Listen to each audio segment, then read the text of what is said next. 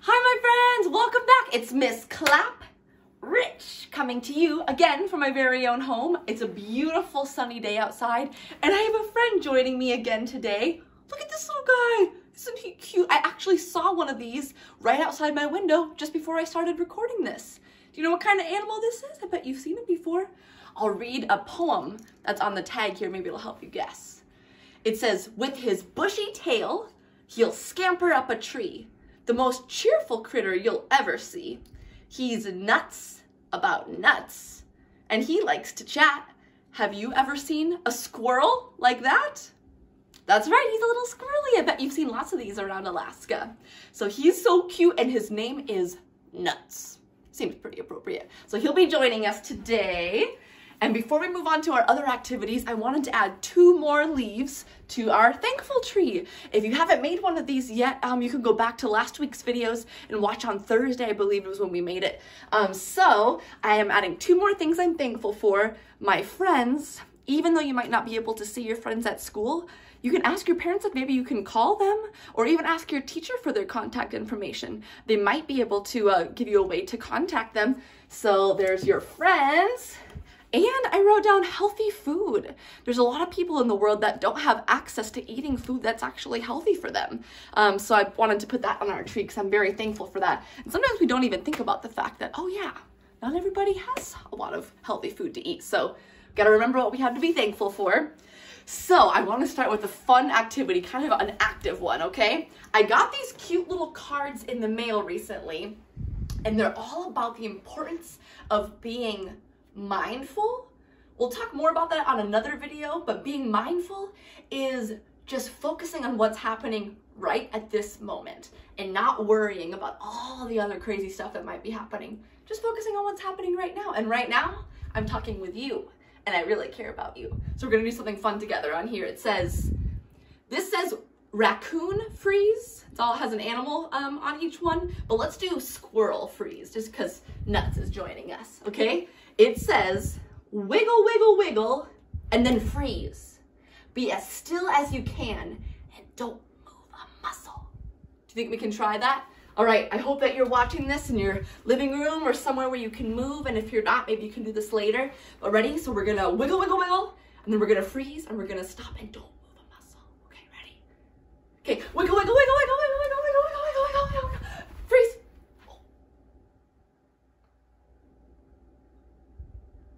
Okay, take a deep breath. Let's do it one more time. Ready? And wiggle, wiggle, wiggle, wiggle, wiggle, wiggle, wiggle, wiggle, wiggle, wiggle, wiggle, wiggle, wiggle, wiggle, wiggle, wiggle, wiggle. Freeze.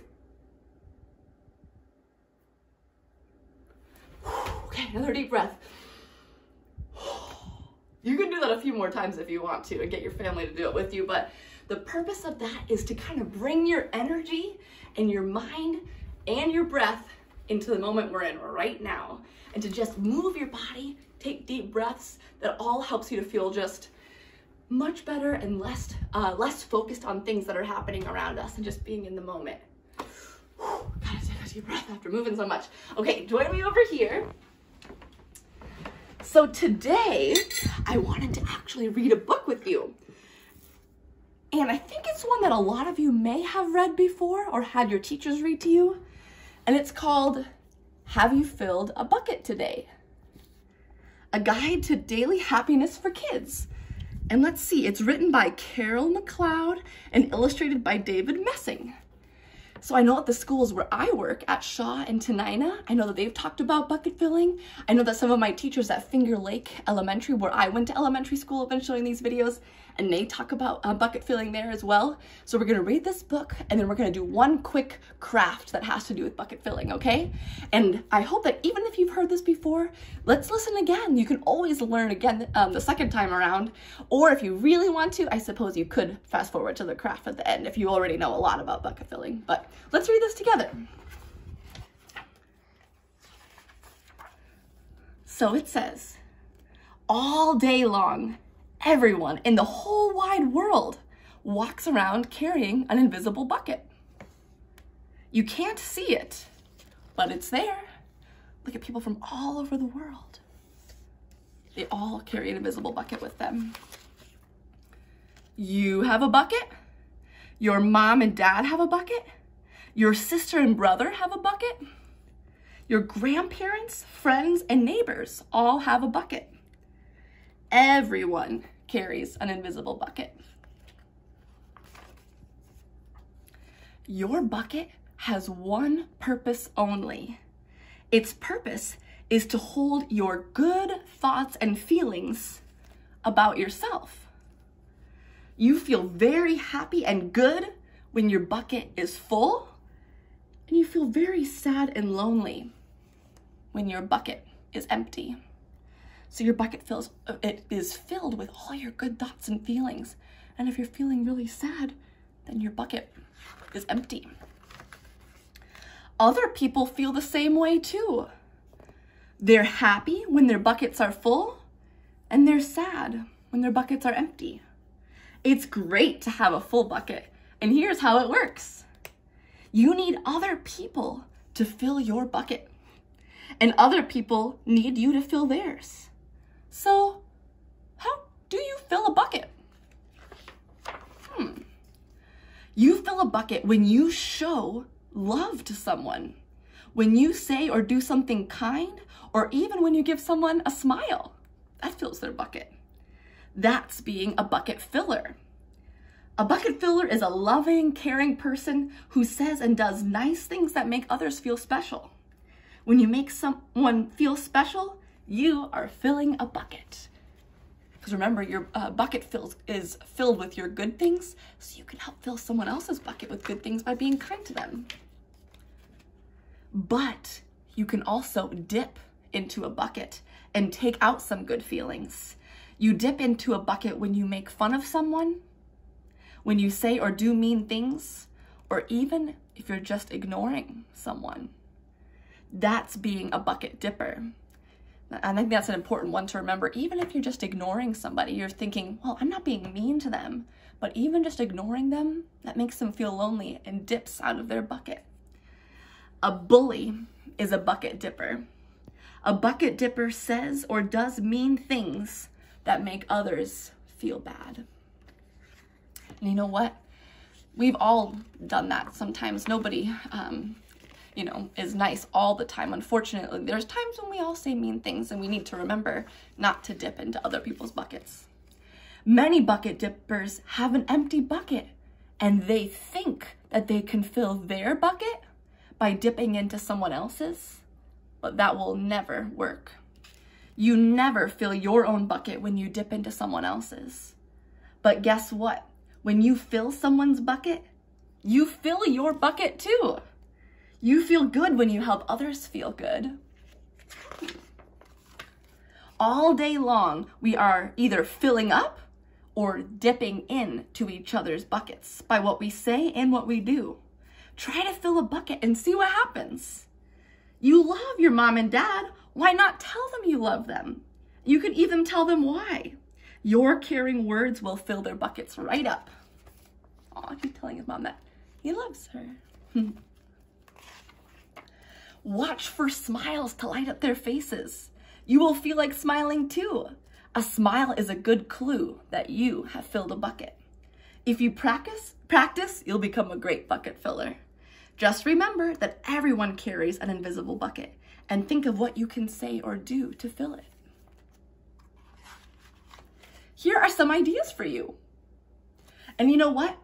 Before I finish this book, these are some ideas of how you can fill other people's buckets. But actually, the thing I wanted to mostly focus on today is how to help fill your own bucket so that you are able to fill up other people's. So how about we'll pause there? Because now you understand what it means to have a, an invisible bucket. And tomorrow we can learn how to fill another person's bucket. But here, just for fun, before we do our craft, I was thinking about pretending like these are my, my invisible bucket. And here's Nuts and his little bucket. So his is pretty full and so is mine. I'm feeling pretty good. So we'll talk more about this tomorrow, but if I was to say something mean to Nuts, it would dip from his bucket. Would it go into mine and make me feel happier? No, it just gets thrown away. And, and Nut starts to feel sad. But um, if you, you can, I can fill his bucket right up by saying nice things to him. So again, today, in order to fill someone else's bucket, you have to have some good things in yours. And the way yours gets filled up is by hearing good things about yourself, someone being kind to you, someone playing with you. But you can fill your own bucket too by doing things that make you feel good.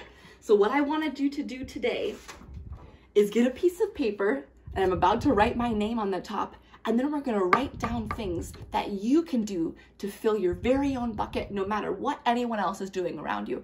Even if people are being mean, even if people at home are kind of frustrated right now with being cooped up, you can do things that make you feel good and have your bucket full, okay?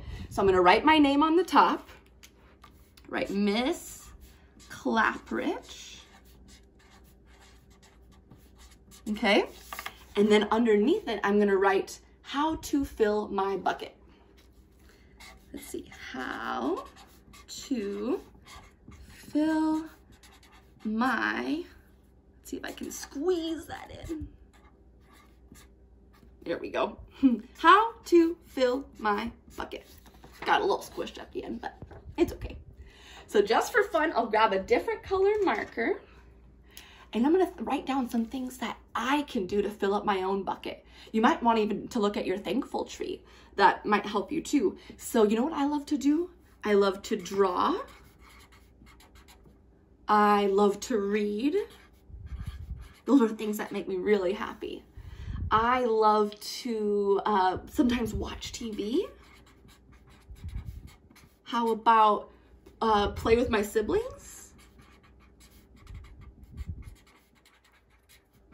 Um, and how about you could put maybe spend time with people I love, but I know that sometimes when parents have to work or siblings aren't at home, I want you to be able to do things that you can do all on your own, even if you don't have anyone else at home, things that fill your bucket up. Because when you do something, um, you know, that you read and do something that makes you feel good, that adds to your bucket.